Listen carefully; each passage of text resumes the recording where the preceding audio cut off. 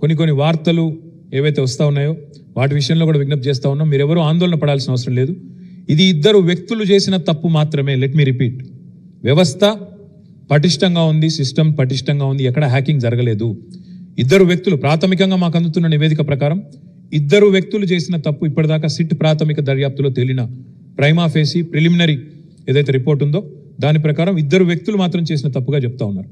దీనికి సరే చిలువలు పలువలు చేసి నోటికొచ్చినట్టు మాట్లాడడం విద్యార్థుల్లో యువతలో అశాంతి చెలరేగే విధంగా కొంత అసహనం చెలరేగే విధంగా ప్రభుత్వం మీద వ్యతిరేకత వచ్చే విధంగా వ్యాఖ్యానాలు చేస్తున్న వారు ఎవరైతే ఉన్నారో వారందరికీ కూడా నేను ఒకటే విజ్ఞప్తి చేస్తా ఉన్నా.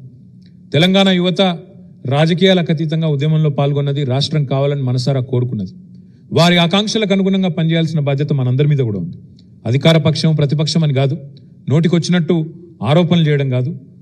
ప్రభుత్వం ముఖ్యంగా తెలంగాణ పబ్లిక్ సర్వీస్ కమిషన్ చిత్తశుద్ధితో ఈ వ్యవహారాన్ని డీల్ చేస్తున్న విషయాన్ని దయచేసి గమనించాలని గుర్తెరగాలని ముఖ్యంగా తెలంగాణ యువత ఎవరైతే ఉన్నారో మీరు అర్థం చేసుకోవాలని ఈ రెచ్చగొట్టే వ్యాఖ్యానాలు రాజకీయ నిరుద్యోగులు చేసే రాజకీయ బేహారీలు చేసే వ్యాఖ్యానాలు ఏవైతున్నాయో వీటిని పట్టించుకోవద్దని చెప్పి కూడా తెలంగాణ యువతకు ముఖ్యంగా నేను హృదయపూర్వకంగా విజ్ఞప్తి చేస్తా ఉన్నా.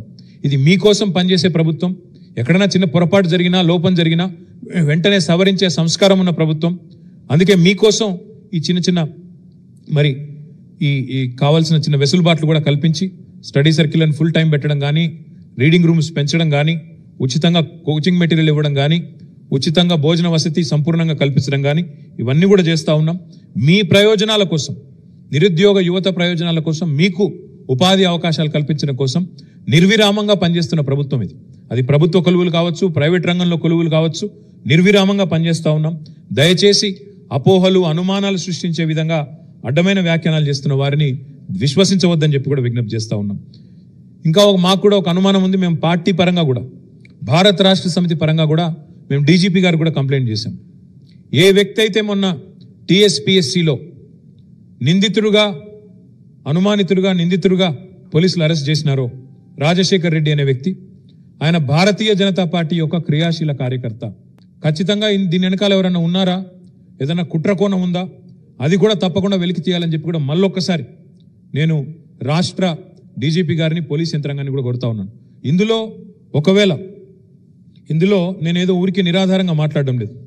ఇందులో మీరు గమనించినట్టయితే ఈ వ్యక్తి క్రియాశీలంగా భారతీయ జనతా పార్టీ యొక్క రాజకీయ కార్యకలాపాల్లో పాల్గొంటున్న వ్యక్తి. సామాజిక మాధ్యమాల్లో సామాజిక మాధ్యమాల్లో మరి చాలా చురుకుగా ఆ పార్టీ యొక్క అనుకూలతను ప్రదర్శిస్తూ ఆ పార్టీకి ఓటు వేయాలంటూ మరి ప్రచారం చేస్తున్న వ్యక్తి. ఆయన చాలా చాలా చాలా ఫోటోలు ఉన్నాయి. ఒకటి రెండు కాదు. ఆ పార్టీ క్రియాశీల కార్యకర్తగా ఒకటి రెండు కాదు. ఎన్నో ఉదంతాల్లో పాల్గొన్న వ్యక్తి.